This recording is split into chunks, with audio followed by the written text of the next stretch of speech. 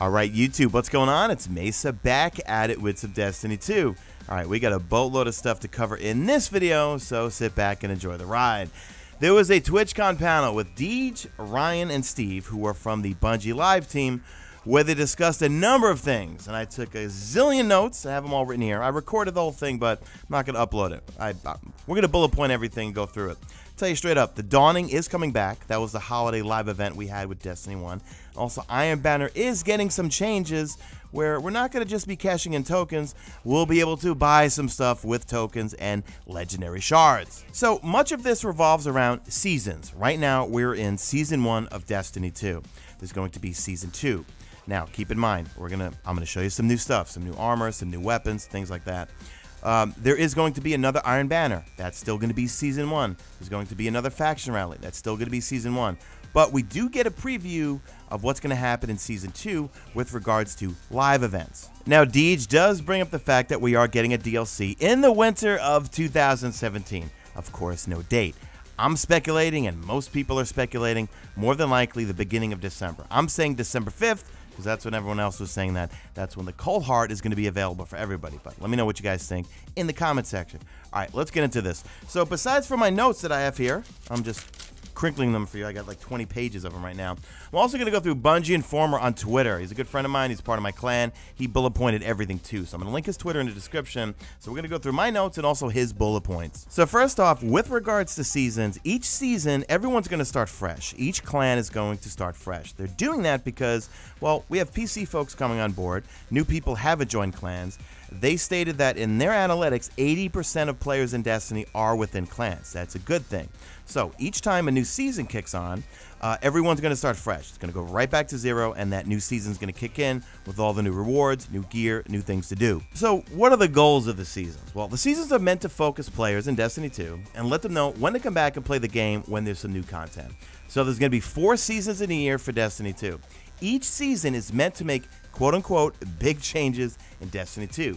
Each season is going to provide these common things changing themes for player experience, sandbox tuning, new features, more content, etc. So there's going to be big changes with each season. Now, one thing Ryan mentioned, uh, Ryan from Bungie, he kept talking about like the Cabal for season one. So more than likely, what the vibe I was getting from him was that season two is going to be about something else, and that thematically the maybe the tower, the entire worlds, everything like from a theme perspective will change. And that's where I'm speculating. Okay, if the next story to be told is going to be the Vex, probably the tower, probably everything we do within season two is going to revolve around the Vex. That's me speculating. Next up, the Dawning is coming back. Now, the Dawning in Destiny 1, that was the holiday event. We had sparrow racing, we had all sorts of little things we could do within the tower, uh, little quests we can go on. Well, it's definitely coming back. And one thing they brought up is that there's going to be tower ice hockey and also snowball fights in the tower and at the uh, the farm actually. They also said something that snowballs will be added across the game and including strikes and other activities out and about in the world. Now the Dawning is also going to be adding shaders, armor, weapons, emotes, so forth. Now in season 2, Iron Banner is going to change, but hey, our next Iron Banner, that's going to be the same just like we played the last one, meaning turn in tokens to try to get gear. We still have one more Iron Banner before season 2 kicks in. Season 2, they're going to change the loot system, okay? They're going to offer weapons and you can direct purchase them using tokens and legendary shards. They didn't go into any detail, but I am very happy to hear that. I got lucky on my hunter and got the full set with cashing in about 300 tokens, uh, maybe like 350. Got the full set. Got all the weapons except for two of them that I didn't even care about. I got the hand cannon, I got the auto rifle, got the pulse rifle. I was a happy camper, but pretty cool. So we'll be able to buy weapons and stuff this time. Now in season 2, Iron Banner ornaments are going to be hitting the armor, and guess how you can unlock them? by in game challenges. So, not by buying them or anything or just randomly getting them. No, he said that each piece of armor is going to have an ornament and they're going to have some sort of challenge in season two associated with it. He didn't really speculate on it, but it could just be like a complete X amount of games and you unlock the ornament for this glove or something like that. Get X amount of kills, you unlock the ornament. So I think that's a really cool addition, all right? We get ornaments and you just do things. Play the game. You want the ornaments? Play the game. Now, they also said they're going to be adding some more weapons to Iron Banner. So the weapons we had before, those aren't the only ones. We're going to get some new ones. They didn't really go into detail, but they did say an energy hand cannon. They did throw that on screen and just talk about it just briefly, but nothing specific. They said new weapons, they said new perks. Trials of the Nine is also going to have ornaments for each season too, and they kind of hinted at the same thing. More than likely, you're going to have to do some challenges. I'm not 100% sure on that one. I know Iron Banner, you do challenges to unlock the ornaments on your Iron Banner gear, but it seems like they're doing the same thing with the Trials of the Nine gear also. But they did want to stress, guys, okay, we are getting new weapons for Trials of the Nine and Iron Banner, and they're going to have different perks with the different seasons within the year. It's going to be four seasons. Also, Faction Rallies is coming back, and we're going to see some different weapons and different gear. So I'm throwing on screen right now just a couple of pictures of the gear and weapons. We see a line rifle this time, different auto rifle. We could see Future War Cult actually kind of looks better than expected. I don't know. Everyone was cheering when they threw that on screen, and Dead Orbit looks morbid as always. And uh, keep in mind, guys, a lot of this Deej wanted to stress is uh, these are concept art images here, so this might not be the final builds of everything, so take it with a grain of salt. Now, there's a new thing called Clarion Call that's going to debut in Season 2. Now, that's going to give you double XP when you play with a clanmate. You're saying, why do I want double XP? Well, you're going to want to have Bright Engrams because they're adding a lot of new stuff each season to what you can get from those Bright Engrams. Now, Clarion Call events, they're not always going to require clan collaboration, but the first one's going to function where you need to participate with someone in your clan, play the game. While you're playing with them, you get double XP. And you're going to want to do this because they're at, they're basically removing, and we'll get to the Bright Engrams and everything.